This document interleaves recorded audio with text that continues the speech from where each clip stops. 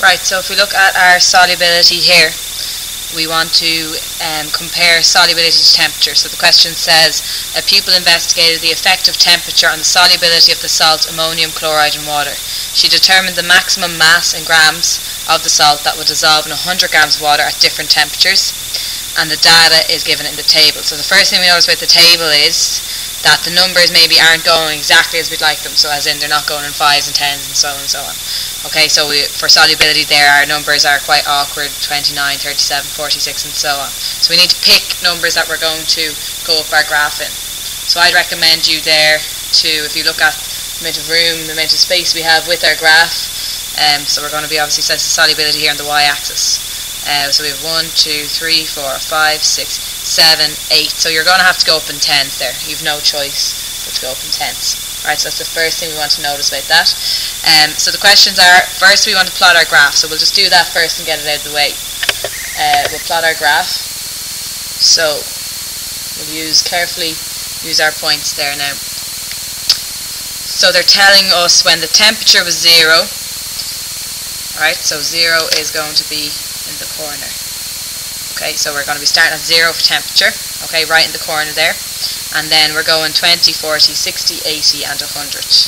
Now let me see, do you have enough room? Like, it's all trial and error, so if you want to say 20, 40, 60, 80, 100, yes we do have room. So the more room you can get out of it the better, because it's going to be easier for you to plot your points. So 20, 40, 60, now, now it's hard to see them, 80 and 100 all the way down here.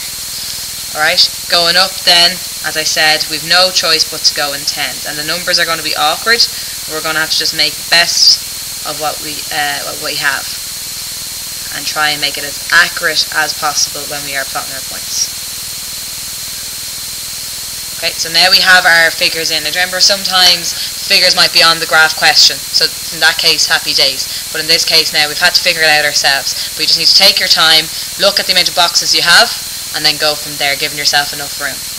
So the first point there to plot, 0, on the x-axis down at temperature and we're going to solubility which is the y-axis 29 okay so 0 you can use your ruler if you want. Okay get your ruler 0 there's 20 29 obviously is going to be just before 30 so around there. Okay now if you can see clearly there there's kind of five boxes from 0 to 10 so you're going to be going up in 2 so 2 4 6 8 10 12 14 16 18 20 so we can say that every box every time we hit a line there, it's going to be 2. So 29 is going to be just before 30 there. And just after that line, that would have been 28. Right, so that's that point done. We give it a tick. Alright, uh, 20 and 37. So 20, we're going up. Now, as I said, if that's 30, 32, 34, 36, and before we get to the next line of 38, we will be putting our dot on the line of 37. Okay, that's done. 40, so we're here and we are going up to 46 so follow your line up and it's 46 this time. So it's going to be on that line that I'm talking about. Okay 46 now make sure as we're going through here if you're doing it as well that you're getting it right. 60 and 55 so 60 going up that's 50 52 54 and 55 okay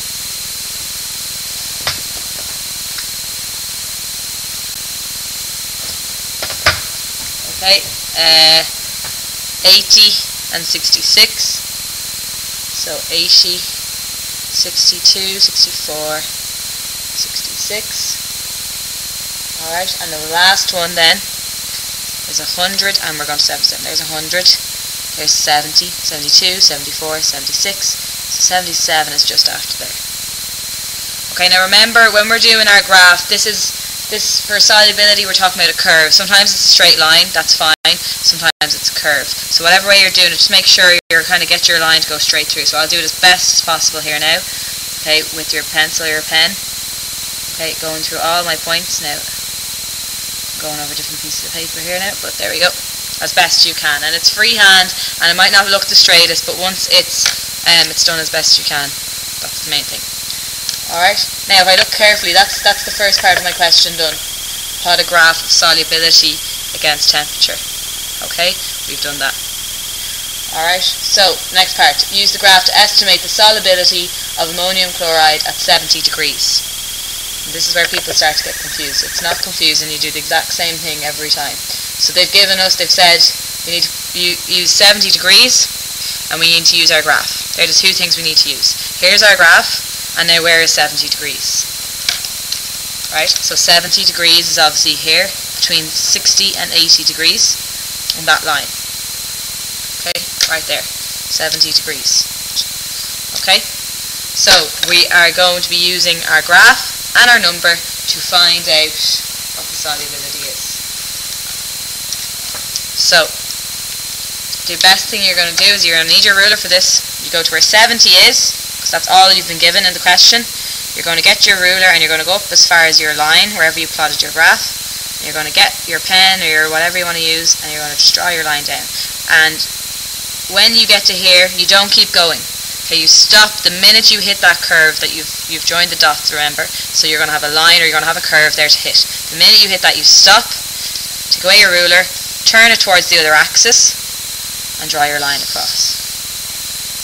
Right? They want to know what the solubility is. Here's our solubility figures on the side. Okay? And solubility here is 60. So your answer was going to be 60 grams in 100 grams of water okay so if you write that in there 60 grams per 100 gram of water and the, I'm getting this unit from what was given to me here in the question. So always the same. You could be told to use uh, find solubility when temperature is 90 you would go to 90 which is here and you would do the exact same thing. Right? They could give you any number at all. It's the exact same process. Go to where 90 is up hit the line stop and then straight across to your other axis. And in that case there you'd be talking about 72 grams would be your solubility there. Okay? Alright so that's that part done.